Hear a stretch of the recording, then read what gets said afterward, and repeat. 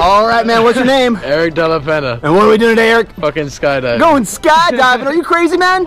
I'm scared shitless. Yeah? I can barely even talk right now. So what on earth made you want to go skydiving today, man? Unfortunately, my girlfriend.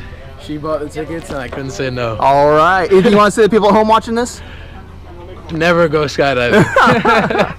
All right, man. Well, here in a couple of minutes, we're gonna walk over to the airplane where we're gonna get in, get up, and get out. Are you ready for this? no. No? yeah, let's do it. All right. We'll see you there, man. All